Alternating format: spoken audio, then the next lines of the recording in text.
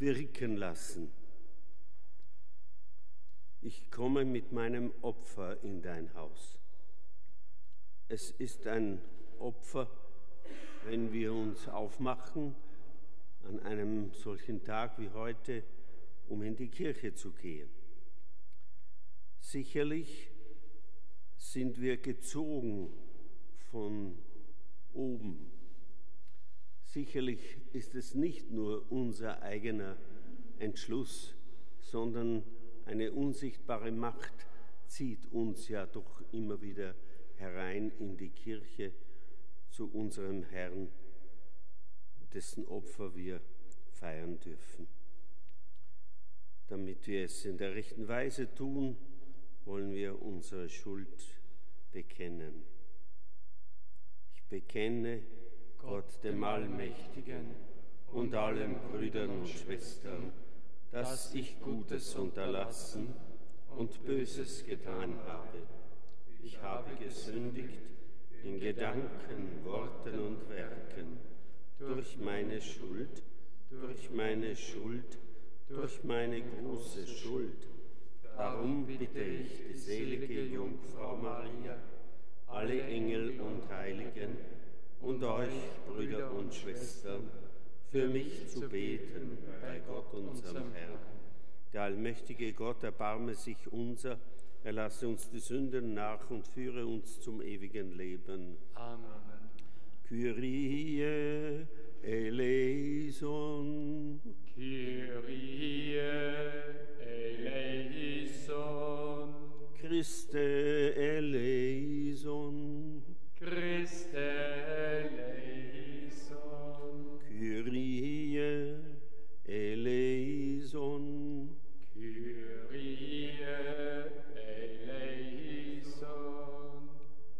Lasst uns beten. Gott, dein Name ist heilig und dein Erbarmen wird besungen von Geschlecht zu Geschlecht. Nimm dein Volk, das zu dir fleht, in Gnaden auf, damit es dich preise in nie endendem Lobgesang. Darum bitten wir durch Jesus Christus, deinen Sohn, unseren Herrn und Gott, der in der Einheit des Heiligen Geistes mit dir lebt und herrscht in alle Ewigkeit. Amen.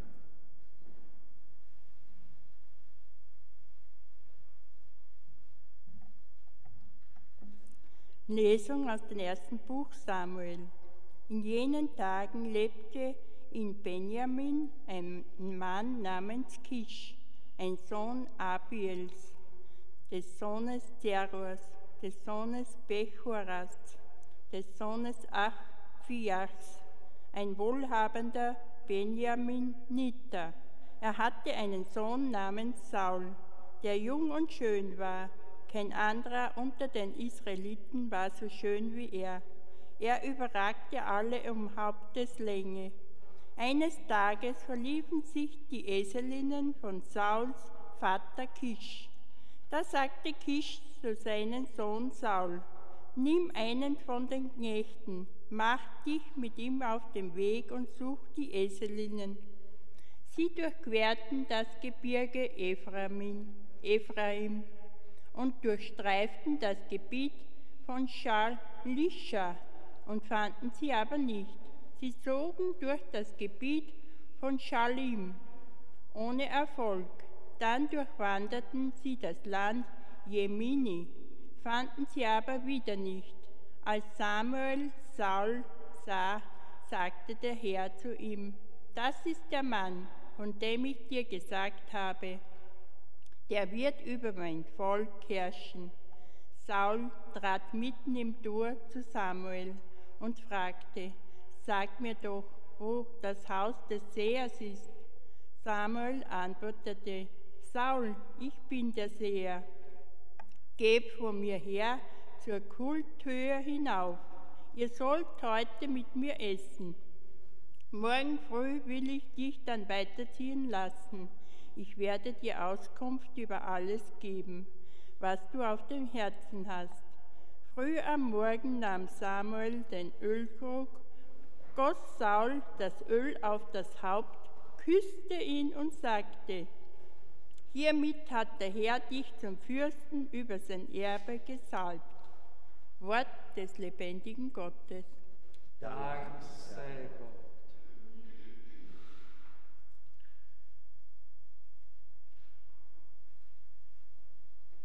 Noch lag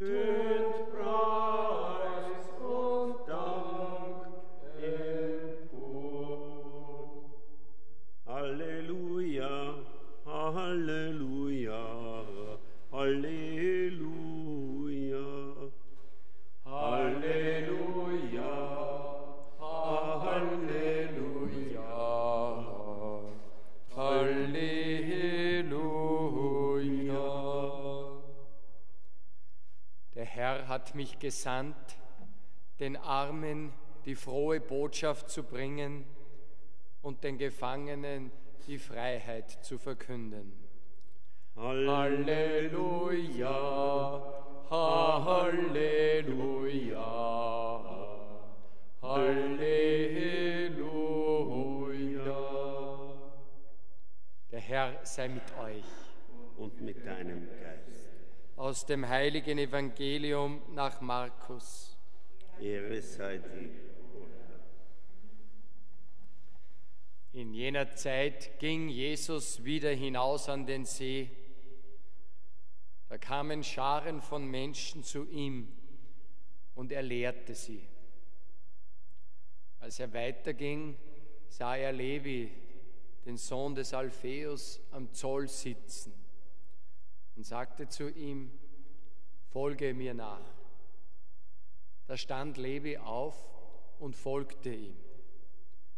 Und als Jesus in seinem Haus beim Essen war, aßen viele Zöllner und Sünder mit ihm und seinen Jüngern, denn es folgten ihm schon viele. Als die Schriftgelehrten, die zur Partei der Pharisäer gehörten, sahen, dass er mit Zöllnern und Sündern aß, sagten sie zu seinen Jüngern, wie kann er zusammen mit Zöllnern und Sündern essen? Jesus hörte es und sagte zu ihnen, nicht die Gesunden brauchen den Arzt, sondern die Kranken. Ich bin gekommen, um die Sünder zu rufen, nicht die Gerechten. Evangelium, Frohbotschaft unseres Herrn Jesus Christus. Lob sei dir, Christus. Liebe Schwestern und Brüder, es erstaunt, dass Jesus bei der Berufung seiner Jünger auch solche dabei hat, die zu den Zöllnern und Sündern gehörten.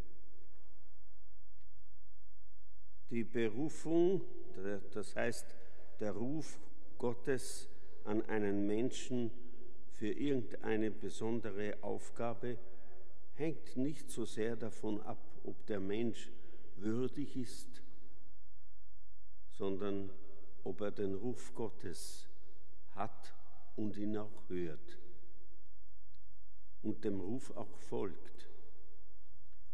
Dann erst kann das Werk beginnen. Und so sehen wir bei den Aposteln, die Jesus gerufen hatte, ja auch solche, von denen man es nicht erwartet hätte. Zöllner, der Matthäus zum Beispiel, ein Zöllner und andere auch.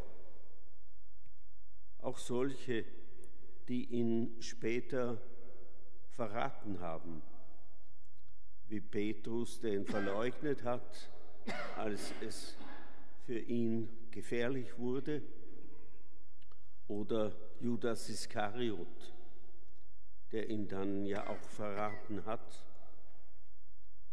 Auch er war gerufen von Jesus. Aber es kommt eben darauf an, dass der Ruf von unserer Seite dann auch gehört wird. niemand soll sagen, ich bin ja nicht wert, gerufen zu werden. So viele sind gerufen, Priester, die nicht so sehr entsprechen moralisch oft. Und trotzdem sind sie gerufen vom Herrn. Und so könnte man die Reihe fortsetzen. Gott ruft und der Mensch soll den Ruf hören, aufnehmen und ihm folgen. Wenn das geschieht, dann ist ein Miteinander gewährleistet zwischen dem Rufenden und dem Gerufenen und dann kann auch Gutes geschehen. Wir sollten auch dankbar sein, nicht vergessen, dankbar für jene, die den Ruf wirklich angenommen haben.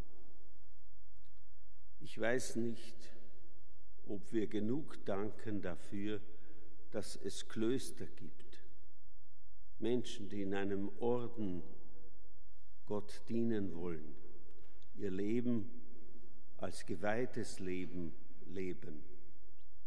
Ich weiß nicht, ob wir genug danken für Menschen, die sich im Laienstand rufen lassen, um einfach mitzuwirken, um dabei zu sein, um auch die Kräfte, die man hat, einzusetzen. Ich glaube schon, wir sollten viel mehr noch danken. Danken für alles, was es doch an Gutem gibt. Danken für die Kirche, dass es die Kirche gibt, die Kirche Jesu Christi. Und noch eines, wir sollten die Kirche lieben. Es ist die Kirche Jesu Christi und wie wir ihn zu lieben haben, das ist uns ja geboten, so sollten wir auch die Kirche lieben, auch wenn man manches kritisieren kann. Es ist doch die Kirche Jesu Christi und sie ist es wert, dass sie geliebt wird.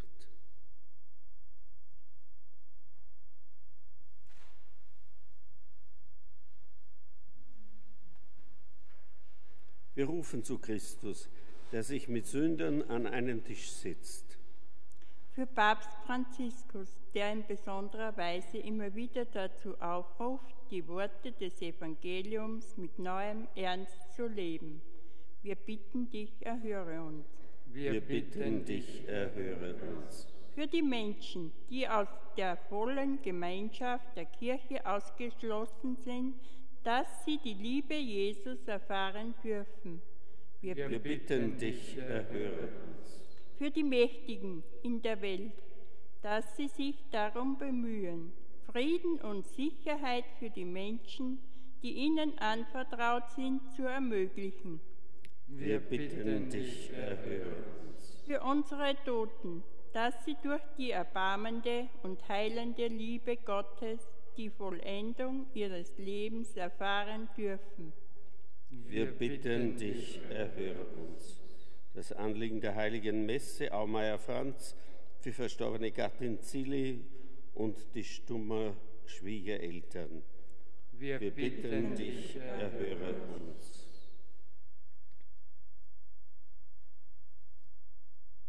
denn du verlässt keinen, der dir vertraut. Dich preisen wir jetzt und in Ewigkeit. Amen.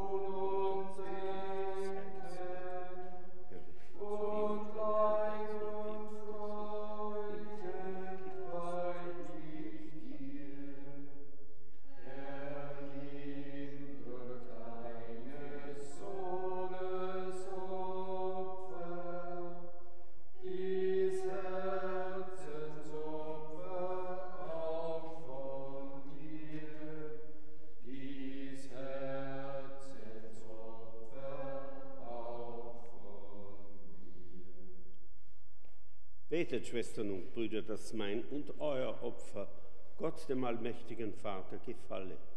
Der Herr nehme das Opfer an aus deinen Händen, zum Lobe und Ruhme seines Namens, zum Segen für uns und seine ganze heilige Kirche. Herr, du trägst Sorge für uns, du hast uns Brot und Wein geschenkt als Nahrung für unser vergängliches Leben. Wir bringen diese Gaben zum Altar, reiche sie uns neu als Sakrament der Unsterblichkeit. Darum bitten wir durch Christus unseren Herrn. Amen. Der Herr sei mit euch, Und mit deinem Geist. erhebet die Herzen.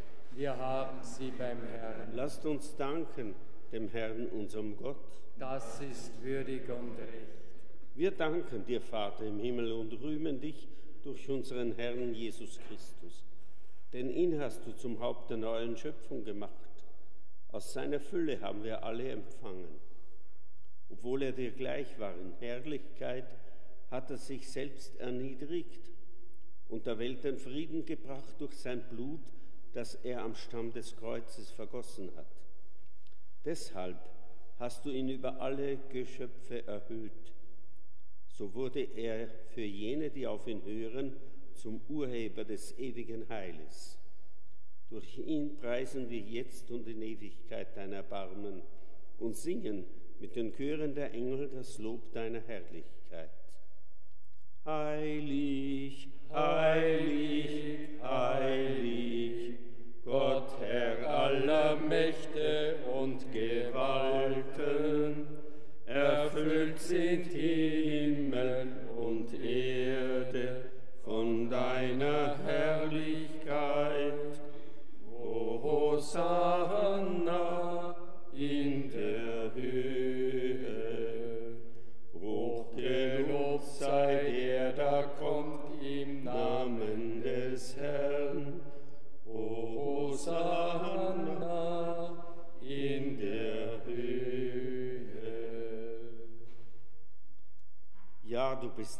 heilig, großer Gott, und alle deine Werke verkünden dein Lob. Denn durch deinen Sohn, unseren Herrn Jesus Christus, und in der Kraft des Heiligen Geistes erfüllst du die ganze Schöpfung mit Leben und Gnade.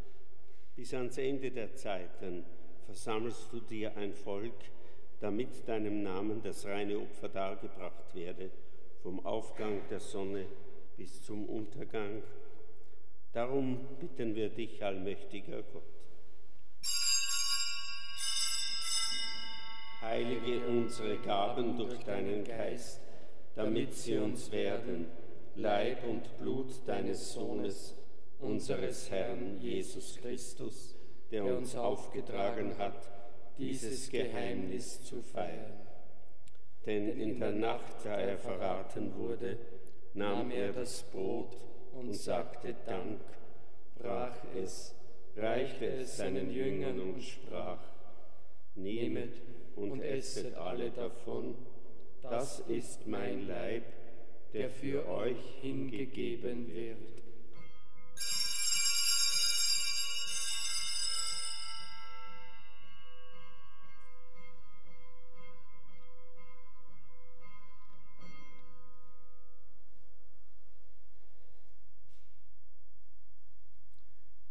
Ebenso nahm er nach dem Mahl den Kelch, dankte wiederum, reichte ihn seinen Jüngern und sprach, Nehmet und trinket alle daraus. Das ist der Kelch des neuen und ewigen Bundes, mein Blut, das für euch und für alle vergossen wird zur Vergebung der Sünden. Tut dies zu meinem Gedächtnis.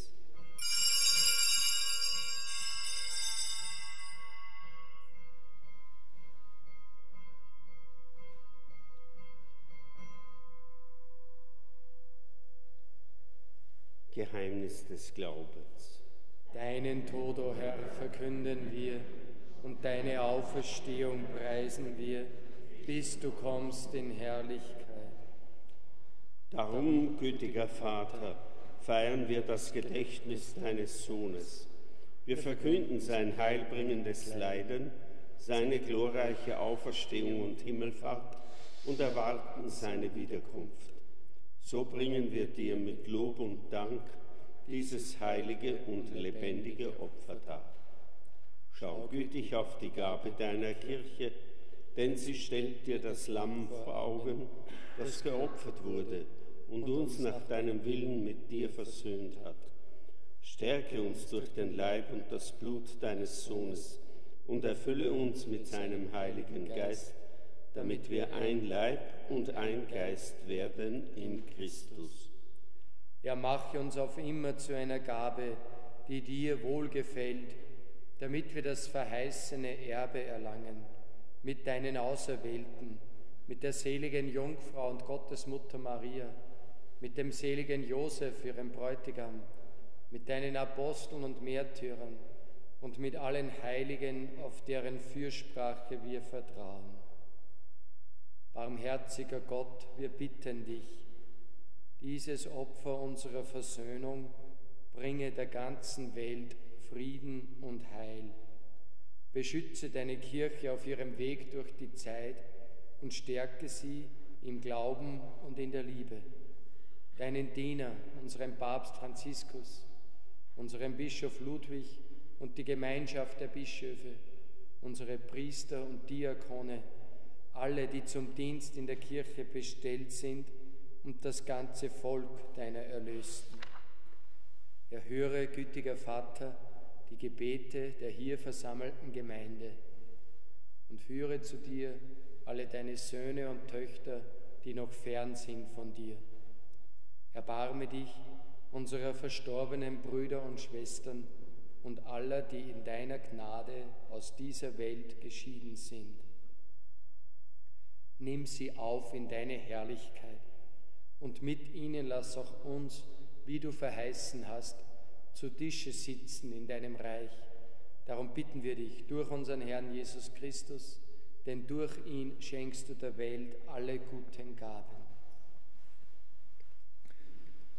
Durch ihn und mit ihm und in ihm ist dir Gott allmächtiger Vater in der Einheit des Heiligen Geistes alle Herrlichkeit und Ehre, jetzt und in Ewigkeit.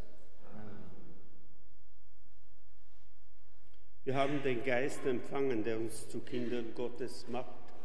Deshalb wagen wir zu sprechen.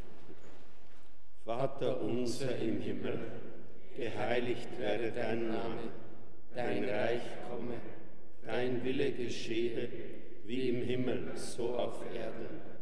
Unser tägliches Brot gib uns heute und vergib uns unsere Schuld, wie auch wir vergeben unseren Schuldigern. Und führe uns nicht in Versuchung, sondern erlöse uns von dem Bösen. Erlöse uns, Herr allmächtiger Vater, von allem Bösen und gib Frieden in unseren Tagen. Komm uns zu Hilfe mit deinem Erbarmen und bewahre uns vor Verwirrung und Sünde, damit wir voll Zuversicht das Kommen unseres Erlösers Jesus Christus erwarten. Denn dein ist das Reich und die Kraft und die Herrlichkeit in Ewigkeit. Amen. Der Herr hat zu seinen Aposteln gesagt, Frieden hinterlasse ich euch, meinen Frieden gebe ich euch.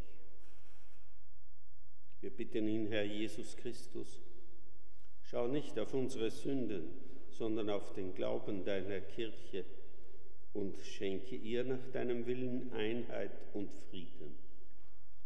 Der Friede des Herrn sei alle Zeit mit euch. Und mit deinem Geist. Gebt einander ein Zeichen des Friedens.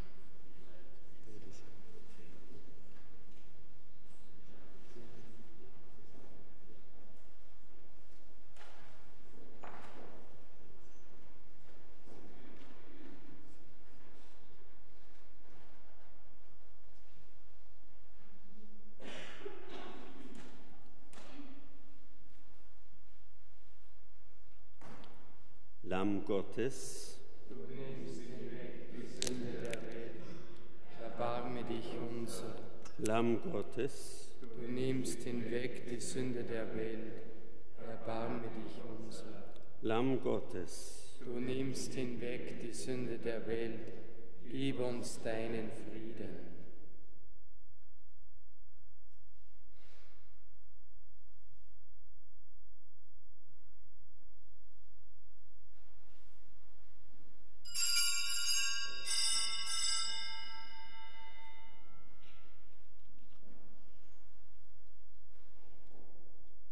Seht das Lamm Gottes, das hinwegnimmt die Sünde der Welt.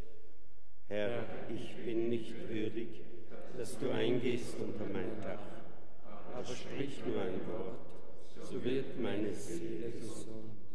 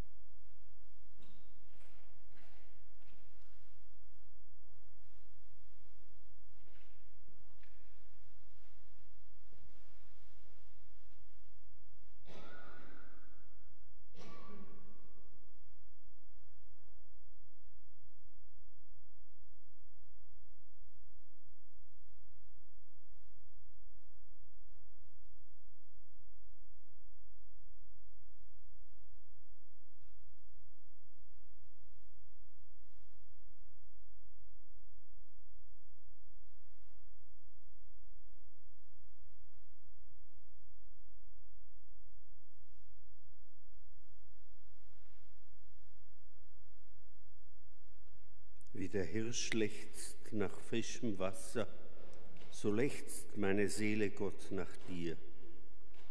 Meine Seele dürstet nach Gott, nach dem lebendigen Gott.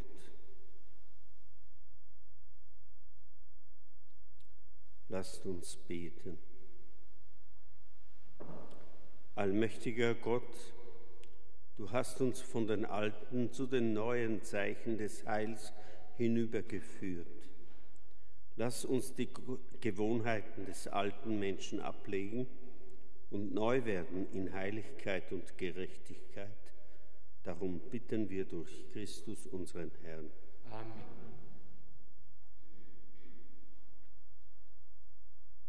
Bedanken wir uns beim Herrn, dass wir bei ihm sein durften und gehen wir mit seinem Segen nach Hause, einen Segen, um den wir auch immer wieder neu bitten müssen. Der Herr sei mit euch.